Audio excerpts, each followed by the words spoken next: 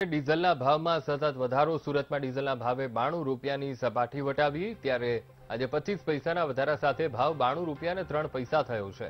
પેટ્રોલના ભાવમાં પણ પચીસ પૈસાનો વધારો અને પેટ્રોલનો નવો ભાવ, રૂપિયા એકાણું અને પંચાવન પૈસા પ્રતિ લીટર, પેટ્રોલ ડીઝલના વધતા ભાવ વચ્ચે વેચાણ ઘટ્યું. પેટ્રોલમાં રોજ વેચાણમાં પંદરસોથી બે હજાર લીટરનો ઘટાડો નોંધાયો છે, જ્યારે ડીઝલમાં એક હજારથી પંદરસો લીટર વેચાણ ઘટ્યું છે. ઈંધણના ભાવ વધતા લોકોએ હવે કરકસર કરવાની શરૂ કરી છે.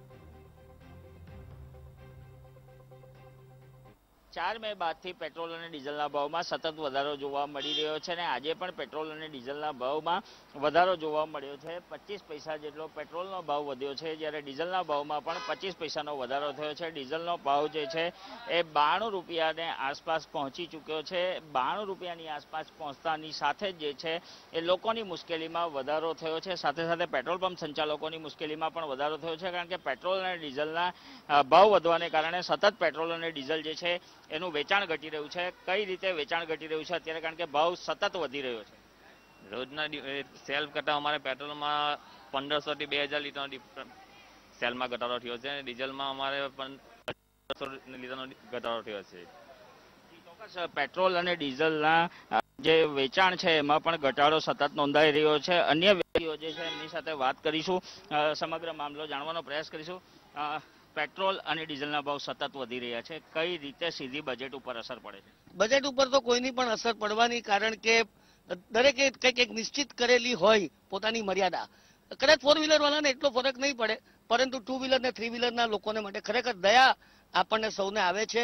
અને જે રીતે આજે જીડીપીનો દર આંકવામાં આવ્યો છે, જે માઇનસ વિક્રમ સર્જનક કહેવાય છે એ જોતા તો એવું લાગે છે કે પરિસ્થિતિ હજુ વધુ ગંભીર થશે અને દેશની જે આર્થિક પરિસ્થિતિ છે, જે રીતે દામાદોર થઈ રહી છે, તે સંજોગોમાં ચિંતાજનક પરિણામોની અપેક્ષા આપણને સૌને છે. લોકો હેરાન પરેશાન થઈ રહ્યા છે. પેટ્રોલ તો પુરાવવું પડે કારણ કે હવે જીવન જરૂરિયાતની ચીજ વસ્તુ છે. પોતાના ઘરેથી ગંતવ્ય સ્થાન સુધી માટે પેટ્રોલ રહે છે. એવા સંજોગોની અંદર સરકારે પોતાની નીતિમાં ક્યાંક કશે એવો બદલાવ કરવો જોઈએ. અથવા તો ક્યાંક એવી માફી આપવી જોઈએ કે જેને કારણે સામાન્ય માણસને રાહત રહે. પેટ્રોલ અને ડીઝલને જો જીએસટીમાં સમાવવામાં આવે તો ઘણો ફાયદો થાય એવું છે. આપનું શું માનવું છે? તમારી વાત તદ્દન સાચી છે કે જીએસટી એટલે એક સમાન દર આખા દેશની અંદર. અને એનું જો સમાવેશ કરવામાં આવે પરંતુ સરકારને પણ પોતાના કારણો હોઈ શકે. પણ એ સંદર્ભની અંદર હવે વિચારવા સિવાય બીજો કોઈ રસ્તો જ નથી.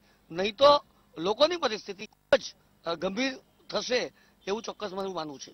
જી, કહી શકાય લોકોની પરિસ્થિતિ ગંભીર બનવાની શક્યતાઓ દેખાઈ રહી છે. અત્યારે પણ પેટ્રોલ અને ડીઝલના ભાવ જે સતત વધી રહ્યા છે તેને ચિંતા વિષય જોવા મળી રહ્યો છે.